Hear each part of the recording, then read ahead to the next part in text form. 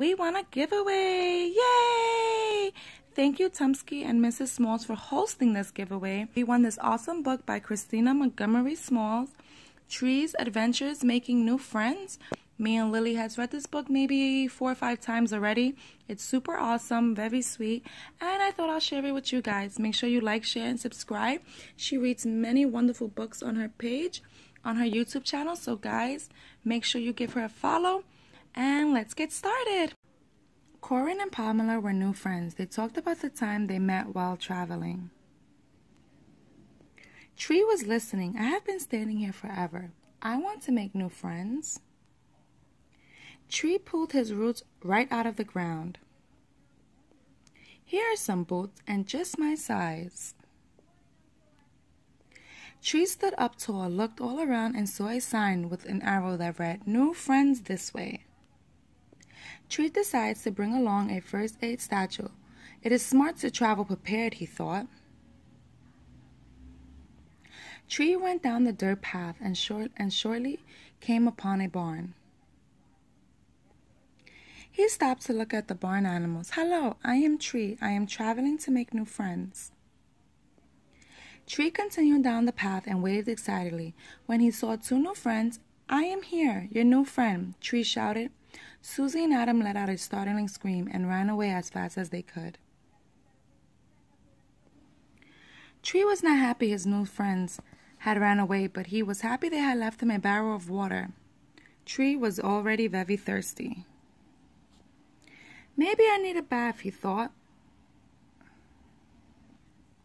Suddenly, as Tree stood up again, the barrel toppled over and Tree tumbled out. He did a somersault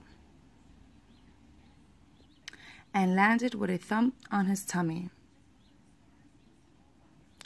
Owl was the first to see that Tree had broken his arm.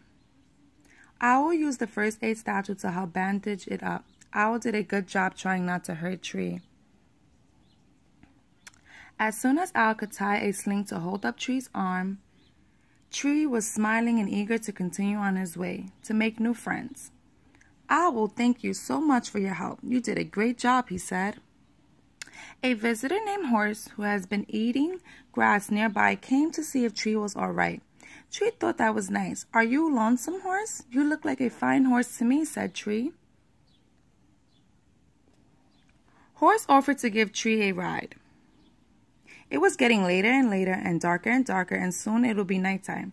Horse wanted to help Tree find a resting place. Owl spotted a cave.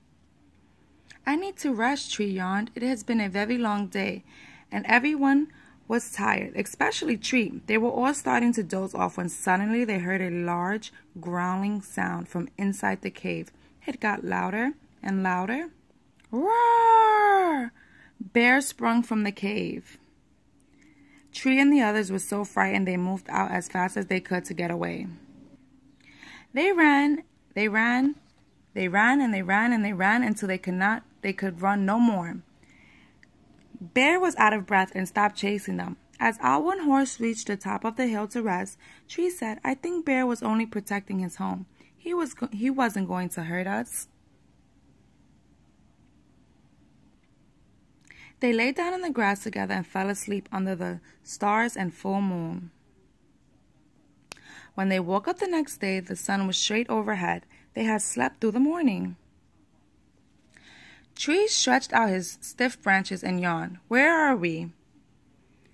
Little forest animals had gathered all around Tree. They were curious because they have never seen a walking, talking tree before. Tree stood up too fast. He felt dizzy and sick. I think I am thirsty. Is there any water here? The forest animals pointed to the river. Tree thanked the animals and carefully walked to the edge of the river. He sat down in the water and sighed. his sore feet were happy, and soon his thirst was quenched. The forest animals all watched in amazement. Tree watched the forest animals right back. Then the forest animals all scurried off. A fishing boat carrying two men came floating down the river. Tree got excited and waved his arms. Hello, new friends. How are you today? The fisherman screamed, jumped out of the boat, and ran away. Hmm, sighed Tree sitting down again.